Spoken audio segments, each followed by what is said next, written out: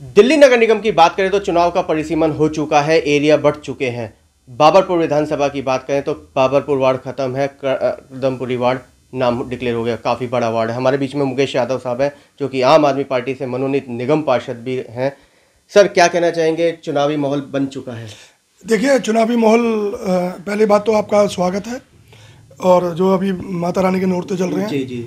उसमें आप लोग आए हैं। आपका बहुत बहुत धन्यवाद और पहले तो मैं सभी भक्तों को माता रानी के जागरण जो नवरात्र उनकी बधाई देता हूँ। और रही बात चुनाव की तो देखिए हम तो पिछले हमारे विधायक हैं श्री जो मंत्री हैं गोपाल राय जी तो हम तो गली गली घर घर जाकर पाँच साल से चुनाव की तैयारी करते रहते हैं। तो हमें चुनाव चाहे आज हो जाए चाहे दिसंबर में हो चाहे अगले साल हो हमें उसकी कोई चिंता नहीं है।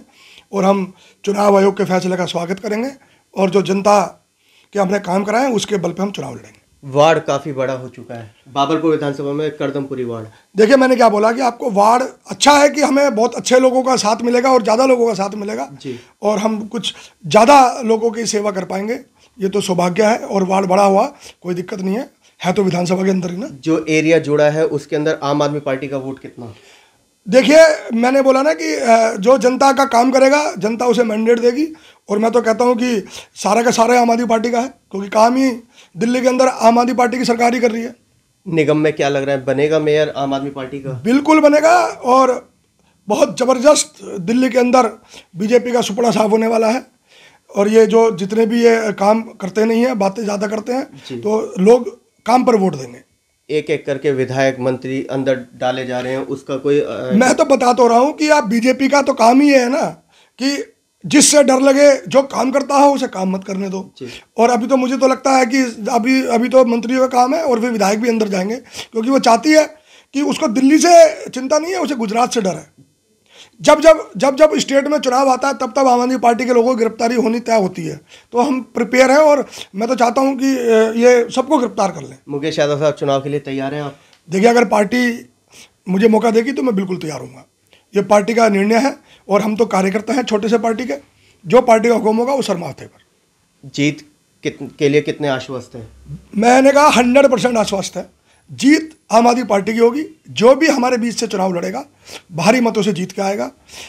बीस साल से बीजेपी का जो कुशासन और जो बीजेपी के भ्रष्टाचार लेंटर माफिया और ये जो हाउस टैक्स और कन्वर्जन से जनता बहुत ज़्यादा परेशान है और वो बदलाव चाहती है। क्या आम आदमी पार्टी के पार्षद दूध के धुले उन्होंने लेंटर पे मैंने बोला एमसीडी देखिए अगर हमारे में तो आम आदमी हमारे पार्षद। बिल्कुल ईमानदार हैं। जिस तरह से ये चल रही है चलन। अगर अभी अगर एक भी दाग होता तो एमसीडी सारे पार्षदों को जेल में डाल देते। इस बात की क्या गारंटी आम आदमी पार्टी का मेयर बनेगा तो लेंटर से पैसा नहीं लिया जाएगा? देखिए मैंने क्या बोला? अगर आम आदमी पार्टी का मेयर बनेगा तो कानून के हिसाब से सारे काम हो और ये जो भ्रष्टाचार है ये अफसर राज खत्म होगा जनता का राज शुरू होगा। और ईमानदारी से सरकार चलेगी और जो भी लोगों की समस्याएँ हैं अब तक बिहार बीजेपी और क्या करेगी? कूड़ा साफ़ नहीं कर पा रही है कूड़े के ढेर बनाते जा रहे हैं। तो वो कुछ नहीं कर सकते सिवाय जेब भरने के अधिकारी जेब भरते हैं और पब्लिक परेशान होती है। पब्लिक ने अपना मन बना लिया है। इस बार ज़रूर झाड़ू का बटन दबा के बदलाव करेगी और पब्लिक के हितों में हमारा मेयर जो भी बनेगा पब्लिक के लिए काम करेगा। शराब नीति कुछ का असर नहीं करेगी। अब देखिए मेरी बात सुनिए ना शराब नीति तो गवर्नमेंट का फैसला था। आज भी लोनी रोड के अंदर। अभी जब ये लोग बीजेपी के मैं तो उनसे भी कहना चाहता हूँ कि अब कहाँ चले गए वो? साफ़ सुन गया उनको। अगर अरविंद केजरीवाल की शराब की तीन दुकानें लोनी रोड पे खुलती हैं तो यहाँ पूरा का पूरा एरिया धरने में बैठ जाता है। अभी भी शराब की चार दुकानें खुल चुकी हैं। कहाँ है वो बीजेपी के कार्यकर्ता? अब आज अगर ये फैसला बदल गया तो आज उनके बच्चे ठीक हो गए। जो। महिलाएँ हमारी सौ फुटर रोड पर लोनी रोड पर बैठी थी जी, जी, मैं उनका सम्मान करता हूँ कि गलत काम के लिए बैठी थी। लेकिन आज कहाँ है वो महिलाएँ और कहाँ है वो बीजेपी के कार्यकर्ता? लोनी रोड पर तीन ठेके थे तीन के तीन खुल गए। तो कहाँ है वो विरोध? और कहा है वो एसोसिएशन जो पहले बैठती थी मेरा उनसे अनुरोध है कि आए मैं भी साथ हूँ फिर इसका विरोध करें और मैं साथ बैठूँगा आपके। लेकिन मुझे ऐसा लगता है कि अब साफ़ चुन गया है क्योंकि अब ये ठेके बीजेपी के राज में चल रहे हैं। मुकेश यादव साहब एक जनता की आवाज़ निकल रही है कि अगर बाबरपुर विधानसभा के विधायक से मिलना हो तो कब कहाँ और कितने बजे मिलते हैं? देखिए बाबरपुर के विधान से अभी मिलना है अभी मंत्री है हमारे जी। और मंत्री जी सिविल लाइन पे रहते हैं। सुबह मतलब यहाँ की जनता वहाँ पे जाती है। मैं बात आ रहा हूँ यहाँ पे भी दरबार लगता है हर सोमवार को। आप आए मिलना चाहते हो तो मिले। जनता का काम। जी। हमारे गोपाल राय जी ने हर कार्यकर्ताओं को गोपाल राय बना रखा। मतलब वीक में एक दिन सोमवार को आते सोमवार को अभी जन हमारी जन सुनवाई चल रही है। जी।